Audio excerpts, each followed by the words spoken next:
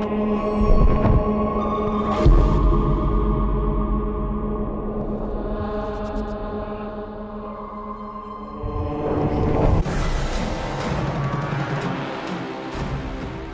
The whole concept of unbaptized children in hell really comes from the kind of medieval belief system that children who die before um, they're baptized, they'll spend eternity in limbo, which is the first circle of hell, and it's kind of the perpetual waiting room of uh, eternity. The design itself, early on, we had a pretty small team, and we uh, contracted with Wayne Barlowe. One of Wayne's great contributions to the whole character design was bringing in the umbilical cord and the placenta, and it was just super creepy and then just, you know, very, very Wayne Barlowe. And then someone came up with, how about we sever the arms and the bone goes into a blade? And they attack you as this large pack. Suddenly, when the babies were cooing and giggling as, as, they were chasing, and then when you started hacking at them with your scythe and they started crying like babies do, um, it became much more real and much more disturbing. And wow, I'm, I'm attacking baby.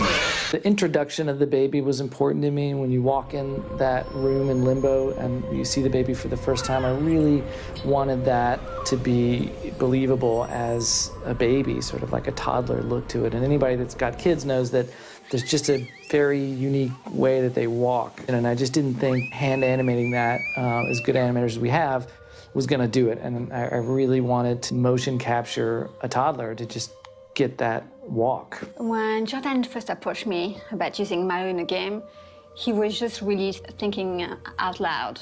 And uh, we started to talk about it very casually, not even knowing if it was actually going to be a possibility. It was just an idea. JK brought in his son to play one of the roles. It's an unbaptized baby. Typically, we don't uh, capture a, a, ton of infants or, or young children, so it is a challenge in itself. It took like an hour for the crew to put all those marks on him.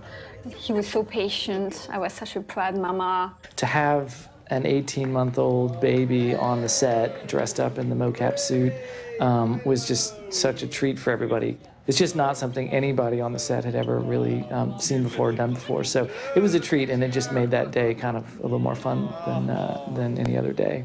I just thought it was actually kind of the different thing that you do with your family instead of just a typical stroll in the mall or outing at the park. So that's pretty awesome. Only thing as a mom was for me to make sure that um, he would not touch the hundreds and thousands of camera all around him. And, um, you know, that was pretty um, stressful, but, but fun and surreal. Uh, it worked out really, really well today, and I think everybody was kind of happy about that because they didn't know what to expect. Uh, so we may actually have an actor on our hands.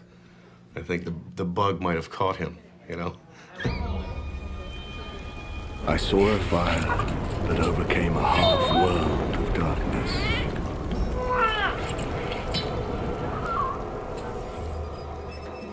That's a card.